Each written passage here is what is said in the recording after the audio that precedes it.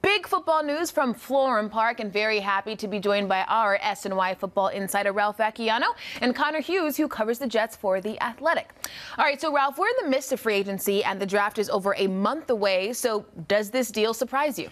It does. Now, I did think that there would be a point where the Jets would try to trade up in the draft. I thought that they really wanted a quarterback here, and sitting at six, there's no guarantee that one was going to be there. But doing it six weeks before the draft seemed a little bit risky to me because you don't necessarily know how the top couple of picks are going to play. So I, I really thought that uh, I did not see this coming. I'm surprised. I think it's a very bold move for Mike Maccagnan. And I think part of that probably has to do with what the Buffalo Bills did. You know, when they moved from where they were and they got up there right around the teens, I think they got to 12.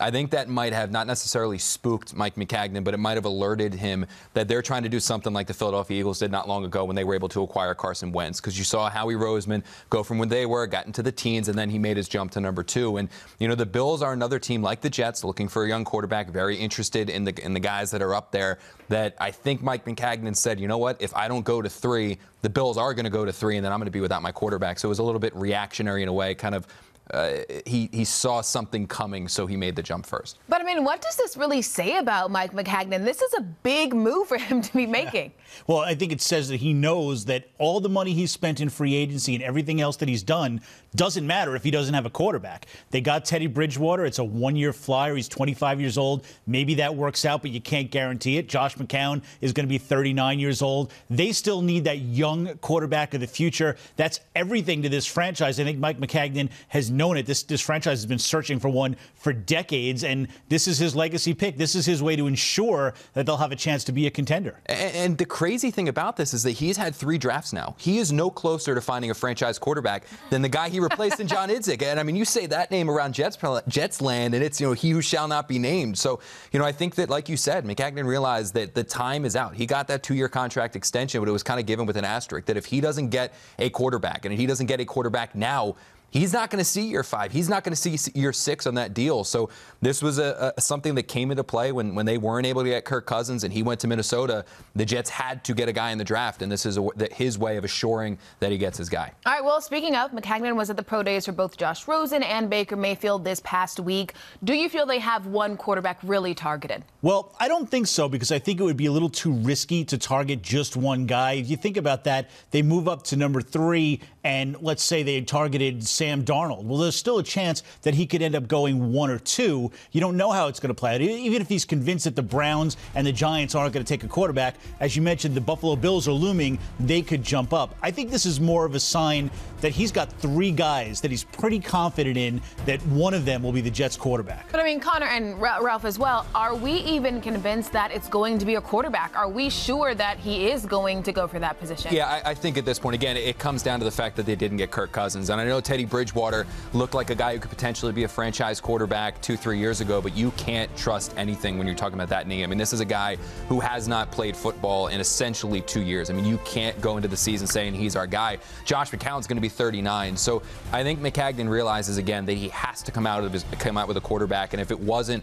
if he wasn't making this move, he made this move for a quarterback. Because if not, he's going to sit at six. He can take Quenton Nelson. He can take Minkah Fitzpatrick. There's a there's a slew of players he can take. This move was made for a signal caller. Now, I think, as we all know, the Jets um, haven't had the greatest success, you know, with second round draft picks, as you can see. But was it a risk giving up so many picks, especially when the team is in this rebuilding mode?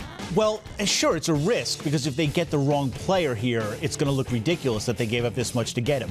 But if they get get a franchise quarterback, every team throughout this league knows that there is no price that's too high to pay for that franchise quarterback. The Jets have been looking for one for decades. In the, the 13, 14 years since the Giants drafted Eli Manning. The Jets have had 13 starters, and none of them have been very good. Imagine what it would have meant How to them. How bad does that sound? It sounds terrible. That's terrible. But just imagine what it would have meant to them. They could have traded five or six picks to move up and get Eli Manning or Ben Roethlisberger in that draft. It would have changed uh, the franchise for 15 years. So if they get their guy, no one will care what they gave up. And that's that's the whole philosophy when it comes to drafting franchise quarterbacks, as, as you touched upon, is that if you believe that this guy, whoever it is, it can be a franchise quarterback, there is no spot that is too early to go get him. There is no amount of picks that you can give up to go get him. That number doesn't exist. You think, I mean, truthfully, you think about that 2016 draft where the Rams went up to go get Goff and the Eagles went up to go get Wentz. If they could redo those trades, they'd give up more. I right. mean, true that they would give up more, and there would probably be teams below them knowing how these two guys panned out. They would give up even more than they were. I mean, that's what the thing is that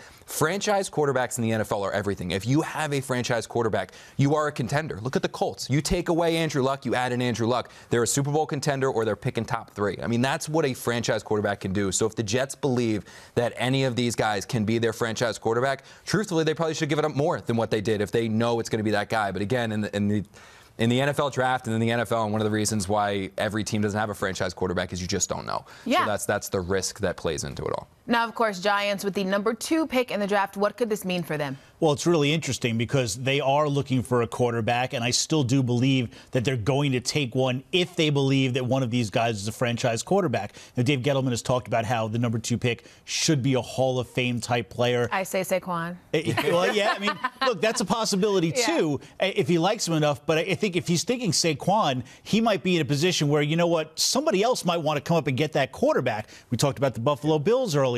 Maybe they offer both of their first round picks. They also have, I think, a couple of seconds and a couple of thirds. They can certainly put together a big package. The Giants are in really the driver's seat. Everybody now knows a quarterback is probably going to go to the Browns at one and four. Quarterback's going to the Jets at three. If you want a quarterback, you're going to need to get up to the Giants spot. If they're willing to deal, they could really turn it into a big haul.